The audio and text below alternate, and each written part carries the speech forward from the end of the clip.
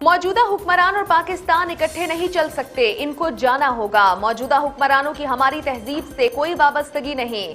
तारीख की सबसे बड़ी धांधली 2018 इलेक्शन में हुई। हमने धांधली को चैलेंज किया।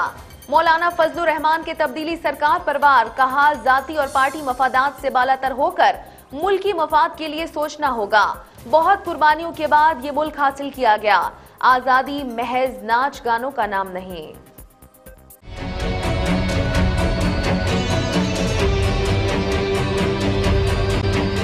अगर हमने मुल्क को बचाना है तो फिर इन हुक्मरानों को निकाल। ये हुक्मरान और ये पाकिस्तान इकट्ठे नहीं चल सकते। मुल्क माशी लिहाज से डूब चुका है। ज़ीरो इशारे तीन पर आपकी सालाना शरणमू आ गई है। कहाँ खड़े हैं आप लोग? मजदूर रो रहा है, गरीब रो रहा है, छोटा मुलाजिम रो रहा है। कोई नहीं सुनती। हम इस मुल्क को, इस मुल्क के आइन के मुताबिक और इस मुल्क के कानून की बारदस्ती की तरफ़ ले जाना चाहते हैं। ये जो आमिराना रवैये हैं। इन आमिराना रवैयों से हम पहले भी लड़े हैं और आज भी हम इससे निमटना हैं। कोई मफादात, दुनियावी मफादात, जाति मफादात, पार्टी मफादात, उससे बालातर होकर मुल्की मफाद की हमने जंग लड़ी।